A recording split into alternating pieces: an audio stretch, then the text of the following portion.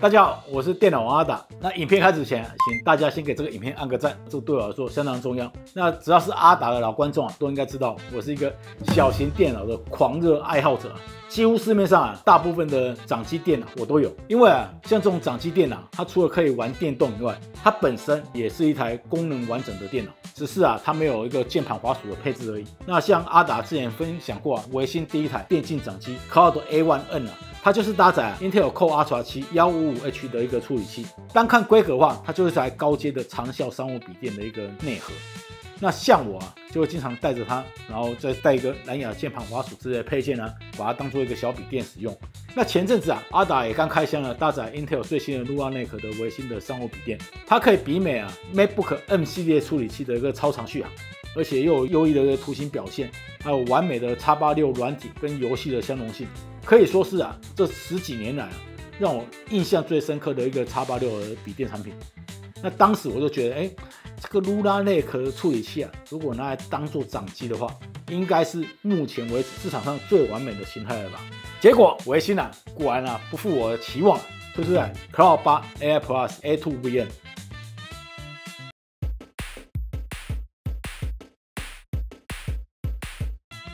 开箱。它这个其实是有一个特殊的东西啊，就是大家可以看这个盒子，对不对？它里面还有个内层，哦，那这个内层呢，如果你把它拿出来之后，它可以另外做个脚架。这个变压器啊，这次终于啊改善了，它终于没有再送一头超纯的线了，哦，直接一体化的。不过呢，还是有点可以吐槽，就是说，既然做这样子，为什么不给一个 PD 的充电头？哦，你可以顺个 PD 的像编织线之类的。大家也可以自己拿一个更短的，不过我就觉得这样子的体积已经可以接受了。好，希望它之后的像那种那个商务机的的笔电就送送。好，那接这边说明书，简单的说明书这样子，所有配件就是这样子。除了这个机器本体以外啊，另外 Cloud 八还有这个啊刚出的一个配件，热腾腾的，就是它的一个吸型盒。跟前一代不一样啊，前一代是软芯的布置的材质，那这一代它就是一个硬壳，而且还有个保护贴。如果有需要的朋友，我会建议买掌机的话，连这个一起带。首先啊，我们来过一下 Cloud 8 AI Plus 的一个规格，它搭载 Intel Core Ultra 7的 258V 处理器，内建啊 32GB 的 RAM 跟 1TB 的 SSD，然后它的 SSD 啊是223年的配置，是可以升级的。但是呢，毕竟223年比较贵。所以你如果要升级 SS 的 D 的话，成本会高一点点。那这台整体来说算是一个高阶笔电的一个配置。那它的记忆体也给好给满了，因为它是 NOP 的一个架构。Core 8 AI Plus 它的机身尺寸呢，哦是二二九乘二一六乘二四厘米，重量是七百九十五公克左右。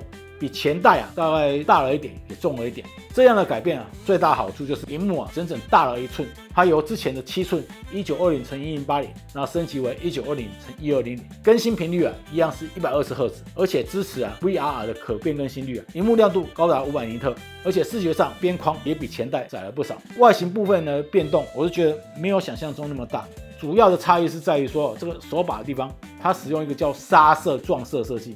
不过呢，这个壳好像不能拆啊。哦，如果说它是可以拆壳，然后让使用者去改颜色的话，那我觉得应该会更加有趣一点。在荧幕左右两边的小孔配置了收音麦克风，那收音效果大家可以参考一下。大家现在听到的是我用 Cloud 八 AI Plus 所录制的声音，你觉得音效如何？那左下角跟右下角分别是两颗啊两瓦的一个喇叭，音效外放的一个效果，大家可以听一下。三千丝绸无所求，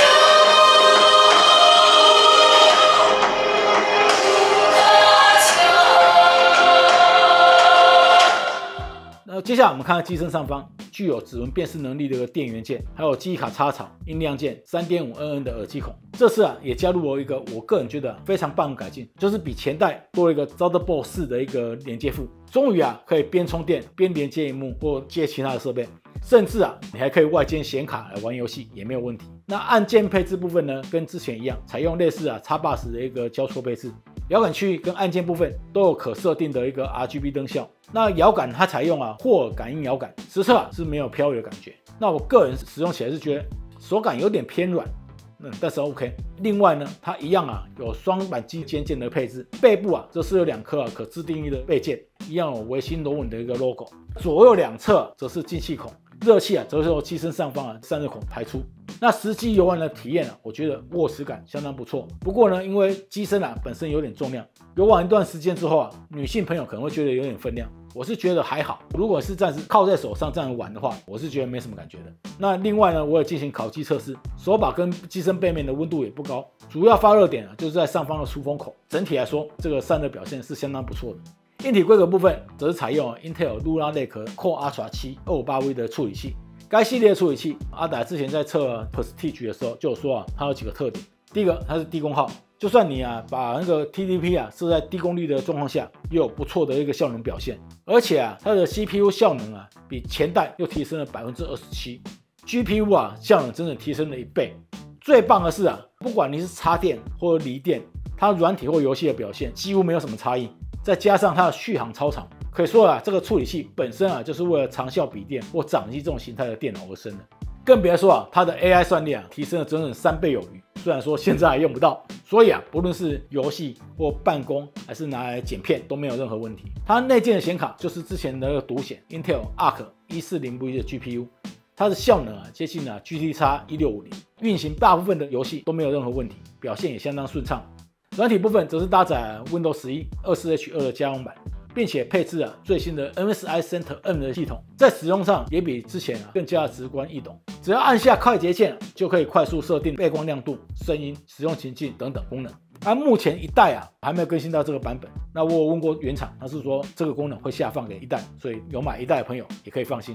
那在性能档位上，它总共有三档可以调整。第一个啊，就是 AI 模式，它会依照你目前使用状况去调整它的功耗。那第二个呢，就是续航模式。那 CPU 啊，大概会被限制在八瓦左右，但是呢，整个体跑起来其实是非常顺的。那第三个是手动模式，它可以从八瓦、十七瓦到三十瓦任你调整。那接下来我们来讲一下它的一个效能表现。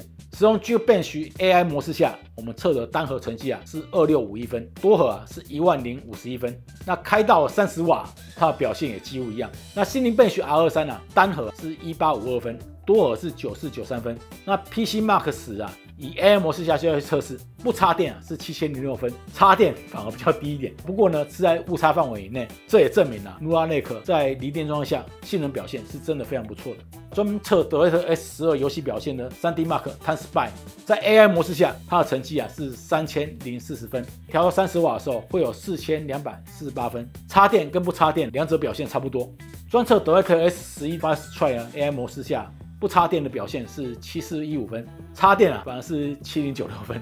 我个人猜测啊，是因为插电状态下机身温度会比较高，系统啊可能为了保护机制，所以反而把性能释放降低了一点。SSD 部分啊，则是搭载凯侠的 ETB SSD，读取啊是三五三八，那写入啊是二九五 N。虽然你可以更换了 SSD，但是呢可选择性比较少。我个人是建议啊，大家直接搭一个高速的 TF 卡来玩游戏，就相当足够了。理论数值看完之后啊，接下来我们进入了游戏实测环节。首先是古墓奇兵暗影，设定在八瓦，然后开启 x E S S 效能档，一零八零 P 啊，最低画质啊，竟然也有四十三帧啊。这个时候啊，全机功耗大概是十五到十六瓦，也就是说，在这个帧数上，这台机器可以玩五个小时以上，非常厉害。那极速地平线五啊，设定低画一零八零 P，开启 FSR 二点二，在八瓦状态下测得是每秒四十二帧，x E S S 八瓦这是三十八帧，十七瓦功率啊，FSR 它是八十二帧，x E S S 是七十五帧。那三十瓦功耗底下，FS 啊有一百零六帧，x E S S 啊有一百零一帧。碧血狂杀二啊，低画质八瓦，在一零八零 P 的状态下，平均帧数啊二十三点九八帧。开启 FSR 之后啊，差异不大。十七瓦一零八零 P 则是三十六帧，那如果开启 FSR 可以到四十七点八帧。三十瓦则是四十二点九帧，那开启 FSR 是有六十帧的表现。赛博胖二零七七以一九二零乘一二零零解析度，低画质，十七瓦的 TDP，开启 FSR 三。测得四十六点零九帧，那 x E S S 则是四十七点六帧。开到三十瓦 T V 功耗时，F S R 三测得五十八点七帧，x E S S 则是有六十四点零七帧。这也是少数啊，x E S S 表现的比 F S R 好的一个游戏。那这个游戏我觉得只要设定十七瓦功耗来玩就差不多了，可以玩接近三小时。黑神话悟空以低画质一二零零 P 解析度，十七瓦 T V P 功耗下。使用 FSR 测得四十三帧每秒，那 XESS 则是三十二帧。TDP 开到三十瓦的时候，FSR 有七十一帧，XESS 则有五十三帧。黑神话悟空也是设定十七瓦就够了。如果你要更流畅的玩的话，就设定七二零 P。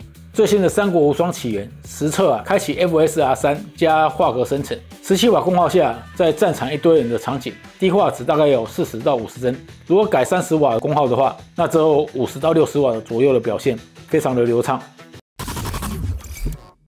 整体来说啊，如果你要顺玩游戏的话，我个人建议啊，哦，你像这种三 D 游戏，你只要调十七瓦或 AI 模式，就非常非常够玩了。如果设定三十瓦，它的表现会更好一点，不过换来的一个性价比不高，就是你提升的帧数跟你提升的功耗啊，我觉得不太值啊。因为掌机我是需要续航长一点会比较好。以上的游戏我都是设定一零八零 P，跟之前我测的所有掌机是用七二零 P 不一样哦。愿意设到七二零 P 的话，它的表现还会更好。像这种八寸的荧幕啊，你设七二零 P 其实没有什么感觉。如果是一些二 D 游戏啊，或者是像 Gor Game 这种静态游戏的话，你用续航模式或八瓦绝对够你用。那接下来我们讲到续航部分。那这次啊，靠八 AI Plus 啊，搭载八十瓦时一个大容量电池，比前代啊整整多了四十六帕的一个电量，再加上 Luna n e 本身就很可怕的续航，这也让 Cloud 八不管是作为游戏掌机或工作小笔电，它的续航表现都来到绝无仅有的一个天花板表现。那以 AI 模式啊来跑 PC Mark 摩登办公室场景啊，它总共撑了十三小时四十九分啊。那以 AI 模式啊来跑 Gaming 模式啊。则是有三小时十二分，续航模式啊，则是五小时二十一分。你日常玩游戏来讲，如果你不降 TTP 功耗的话，应该啊有三到四小时左右一个续航，可能够一般人使用了。那再看一零八零 P 影片呢，官方数值啊，只是号称有二十八小时。那我自己看它播放的功耗啊，八瓦十瓦底下大概是可以放八到十个小时的，所以来说真的很可怕。这台作为啊日常的办公电脑也完全没有问题。而且啊还有一个很妙的一个情况就是啊。在一些需要长续航的测试环节啊，使用 AI 模式啊，甚至比设定八瓦的 DBT 功耗还要更长效。所以 AI 模式它甚至可以跑八瓦还要低。如果你是一些低负载的一些应用的时候，用 AI 模式反而搞不好会跑比较长时间一点。而且它搭载八寸的屏幕，除了让你玩电动更爽快以外，我是觉得，已经大到你可以拿来直接工作的一个程度，不需要外接幕也可以使用了。你再加个蓝牙键盘滑鼠，我是觉得相当的轻松写意。整体来说啊，这次 Cloud 八 AI Plus 在掌机这个品相中，它的进步非常非常大。原本是短板的 Intel 驱动啊，虽然不能说不存在，但是因为啊 GPU 的效能表现太好，再加上啊 Intel 一直都有战会尔的一个属性啊，所以我是觉得目前的表现就已经相当让我惊艳，未来啊更是可期。也推荐给啊想要随时玩电动，同时你也想要拥有一台高效笔电的朋友参考。那我是电脑阿达，如果喜欢这个开箱影片，记得帮我按赞、订阅与开小铃铛。我们下次影片见，拜拜。